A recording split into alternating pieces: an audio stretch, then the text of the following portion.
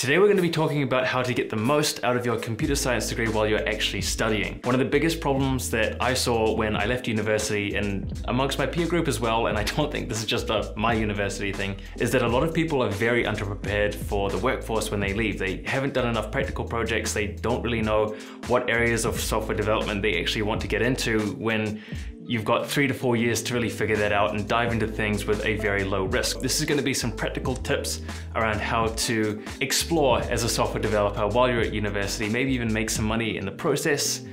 Let's get into it. In order to get the most out of your time at university, you're either probably living in a dorm or you're living rent-free at home. You don't really have too much financial commitment apart from, you know, the university bills. This is the best time to go through and try a whole bunch of different stuff. You can go and build iOS applications, web applications, you can make a game, you can basically do whatever you want because you do have the time to do so. A lot of people that I've seen at university, myself included, we didn't do enough practical projects. You focused mainly on passing your grades and getting A's, getting B's, sometimes C's, that's your primary focus. It's to pass your courses. And while that is super important, at the end of the day, when an employer is looking at you as to whether or not to hire you, it's going to be your side projects and everything else that really kind of sets you apart from the crowd. Really, for those people who are not kind of going to the FANG, uh, FANG, FANG territories, you're going to be setting yourself apart with personal projects, stuff that you build on the side, and it's a very important phase in terms of exploration, figuring out kind of what area of software development you want to get into. A lot of people seem to default to web development, and you know, while that is cool, there are a ton of different jobs out there for web development. It just seemed to be what a lot of people fall into because it's easy, but there are so many other different areas of computer science that you can look at. You can build iOS apps, you can get into Android development, game programming, you can go into embedded programming, you could go into software as a service solutions, you could do full stack web, you know, if that appeals to you. There are a lot of different avenues that you can do, and while you're studying at university, this is the best time to go and explore those options. There are a number of reasons for this. First of all is internships. One of the things that's gonna set you apart is those projects. If you can build something that's an exploration piece, so something something like an iOS app because you're curious about iOS and you build that and you take your learnings from it and you may be able to monetize it if it does quite well. You can then take that application and you can show that to a potential internship opportunity and be like, hey, I built this. They'll see that you've gone and shipped something, you've built something, you've either worked together as a team with somebody else to do it, and they may hire you. And the same thing applies to when you're going for a graduate role as well. If you've got apps in the App Store or you've got websites deployed,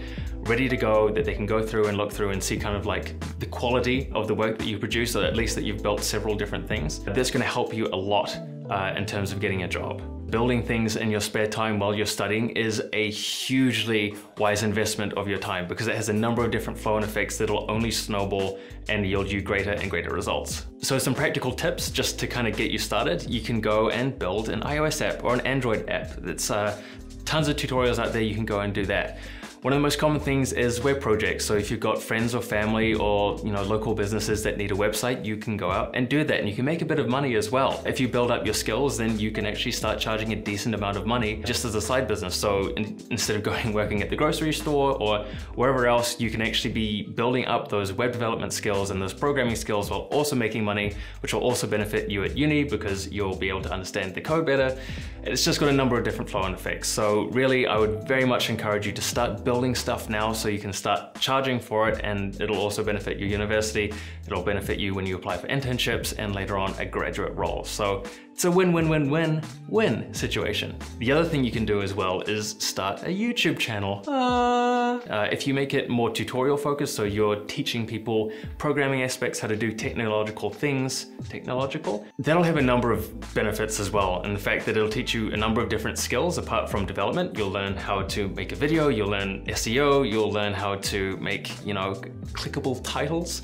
You'll learn a ton of different stuff starting a YouTube channel, some of which may be relevant for, you know, future internships. Others is just gonna be, you know, good personal skills. Uh, you'll learn a little bit of marketing, you'll learn Photoshop and content creation and all the lovely stuff that comes with that. But the big thing is, is that you'll be teaching people and that's something that's very, very valuable to a lot of companies. If you can explain complex technical topics in a simple way that shows you have a really good grasp and a fundamental knowledge of the topic you're talking about, and that's really valuable for employers to see. Considering the uh, CPM for software development channels as well, you may even make a little bit of money while you're doing it. So obviously don't go into this for the money, go into it with the aim of helping people and communicating and improving those skills, but some small side benefits are also good. So let's say you've taken this advice, you've gone and you've built a couple of iOS apps, you've built a couple of websites for people, you've maybe started a YouTube channel, well, what then?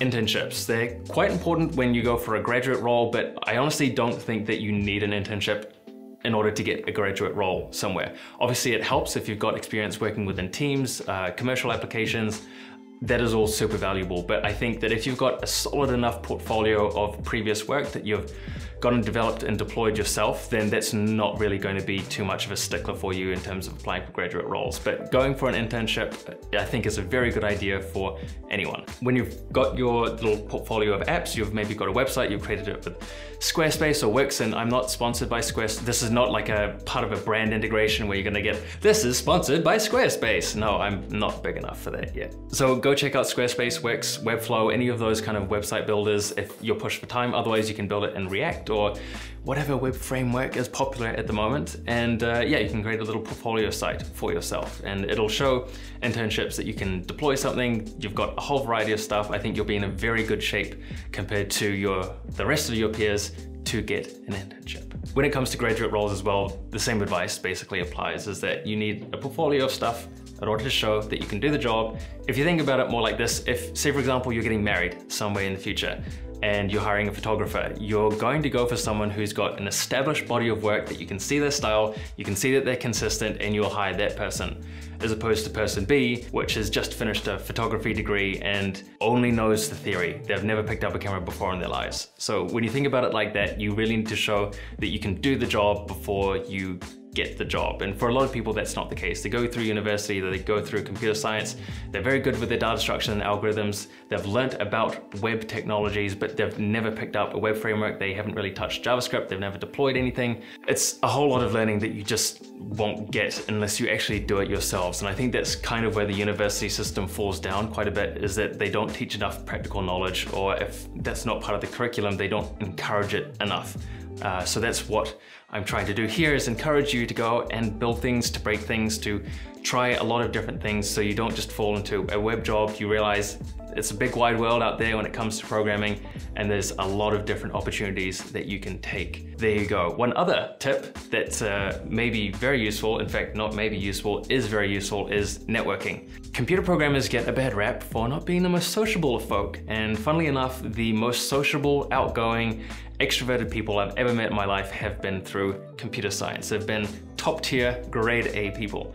So when you're networking, there's a couple of different benefits to this, obviously. The first one being is that the peer group that you go through are going to be the ones who are going to be getting jobs when you graduate, and they're going to be at all sorts of different companies. You never know where somebody's going to end up. The value that you can provide for people and the value that they can provide for you is referrals. And, you know, talking to people, be like, oh, I really want to work for that company. I know a friend of a friend who works there, I can put you in touch it's really good having that network and especially as that grows as you get older, people work at different companies, they can put you in touch with different people. It's super valuable. As well as that, increasing your communication skills, being friendly with people, it's, it's just, it's a win-win basically.